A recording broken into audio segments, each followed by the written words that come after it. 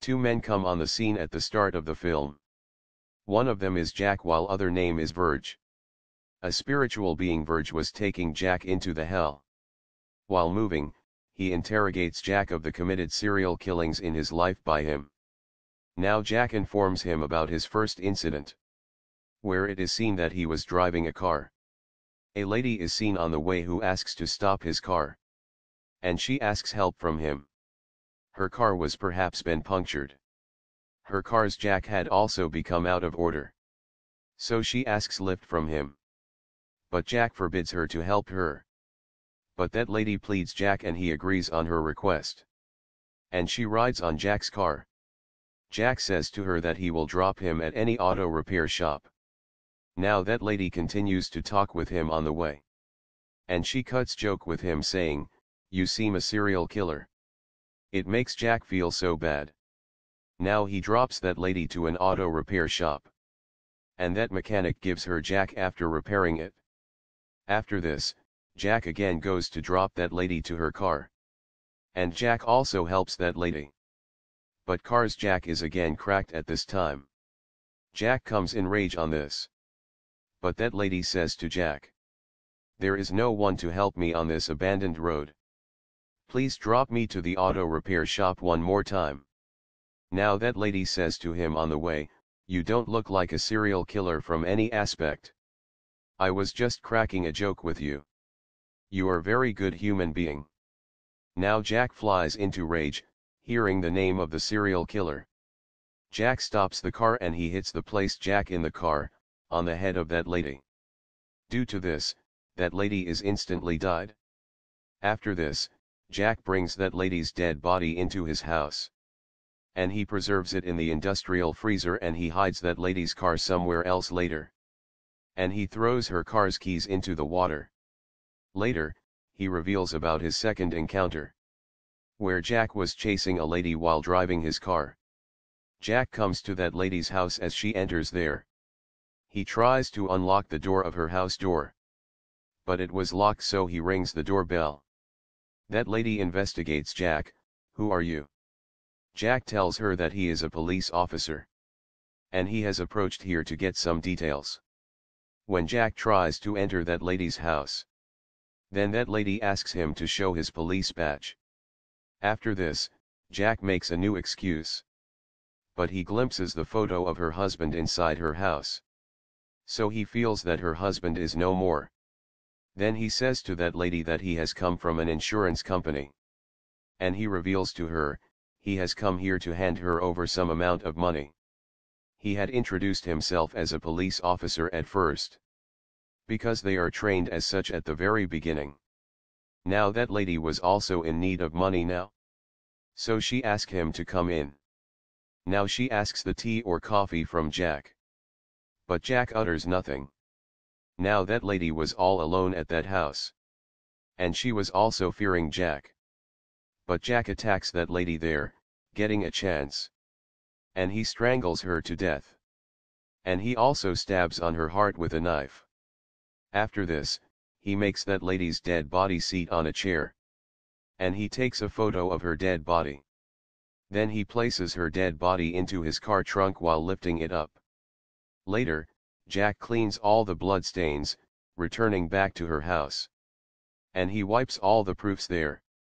As nothing has happened here. But the police is really visit that area.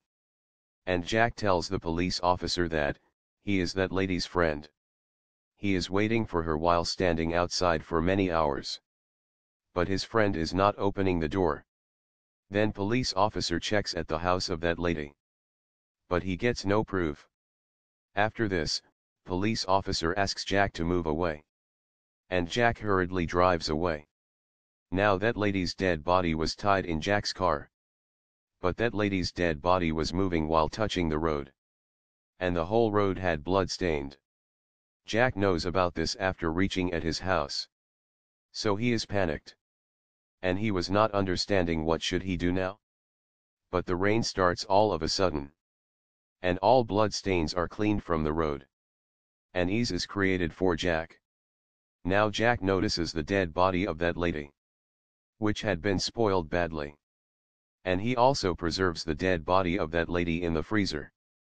And he used to stick the photo of each victim lady on his room wall. Then the scene moves to the past and Jack's childhood is shown. Where it was cutting the claws of the ducks. And he was enjoying a lot while doing this. It means, he used to enjoy to torture the people from his childhood. And Jack had also committed many murders except these murders. Once, Jack becomes so furious on his friend. And he also strangles her to death. And he preserves her dead body into the freezer, taking this. In the same way, Jack is driving somewhere at night. A man comes on his way and he kills that man while hitting him with his car.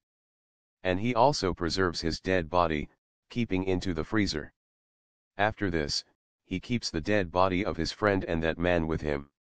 And he takes the photos. He posts those photos in the social media, writing his name Mr. Sophistication. So he may get popularity through his new identity. In this way, he continued to do this. So he may be well known because of his new name. Now Jack reveals about his third incident. And Jack in his youth is shown where he befriends with a lady who had already two kids. One day, Jack leads all of them for hunting. Now Jack tries to kill all of them here. When his friend's one of the sons is running then he shoots him with his gun. That lady's second son is witnessing all. And Jack also kills him. Witnessing all, Jack's friend begins to weep loudly later. Now Jack is also not satisfied on this and he asks that lady to feed the meal to her dead son. After one, he asks her her favorite digit. She tells him the digit 12 on his asking. Hearing this, Jack says to her, you have only 12 minutes to escape. But she remains unable to flee. And Jack also kills her. Now he also carries their three dead bodies into his house. And he keeps them in the freezer. And he takes their smiling photos as it is. Then the fourth incident of Jack is witnessed. He comes to his friend named Jacqueline. There was little disturbance between the relationships of Jack and his friend Jacqueline. Jack's friend asks him here, what do you do? Jack was so intoxicated here and he tells her, he is a serial killer. He has killed nearly 60 human being till now. Then Jack's friend comes outside after being feared from him. She comes to a military man and tells him that her friend is a serial killer and he himself has confessed this. That he has killed the 60 people till now? After this, Jack begins to quarrel with Jacqueline, coming outside. This military man thinks, there is perhaps their personal issue. He moves away. Both come inside the house again. Jacqueline says to Jack, you are perhaps Mr. Sophistication. Now Jack also ties Jacqueline and he tortures her violently. After this, he kills her. Later, Jack tells about fifth incident of his life. Where he had abducted a number of the people. Jack wanted to kill all of them, using one gunshot.